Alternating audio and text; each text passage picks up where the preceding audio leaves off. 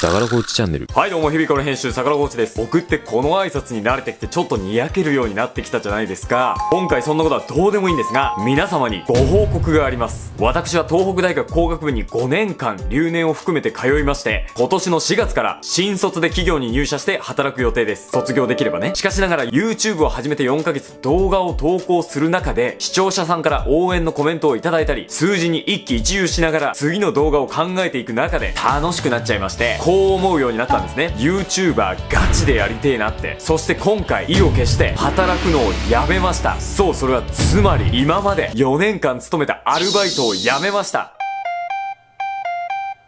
視聴者さんには本当に釣り動画で申し訳ない気持ちでいっぱいなんですが、確かに働くのはやめたんですよ。バイトをね。私は4年間コールセンターで営業のアルバイトをしておりまして、3月を迎えた時点でアルバイトを辞めました。YouTube を始めてから4ヶ月間、留年した学費や生活費を自分で賄うために、昼の1時から夜の9時まで8時間バイトして、夜11時から朝の6時まで編集や撮影をして、また12時に起きてバイトして、たまに学校に行くっていう生活をしていたんですけれども、正直思うように時間を割くことができなかったんですね。しかしながら3月はアルバイトを辞めたことで、今まで以上に時間を割けるようになりました。先月は正直忙しくて、10本ほどしか動画を投稿できなかったんですけれども、私が大好きなブレイクスルー佐々木さんが、うームに所属したり、ステハゲさんがついに引退をしたという刺激もありまして、さらには企業に入社する前に自由な時間を確保して動画投稿ができる最後の期間となっておりますので、より動画投稿を頑張ろうと、たぎりまくってます。実際のところ YouTube をガチでやりてえなって思ってるのは事実でありままして、しかしそのためには、周りを納得させるだけの再生回数や登録者数などの数字、それから今後のビジョンなどを提示する必要がありまして、今はまだ登録者も4000に満たない雑魚ですので、いずれ皆さんに古参を自慢していただけるような YouTuber を名乗れるよう、3月は目いっぱい努力することを約束いたします。ということで皆さん、今月は私、相良ゴーチからの通知がどんどん入ると思いますが、ぜひ通知をオンにしていただいて、私と1個目争いしようぜ。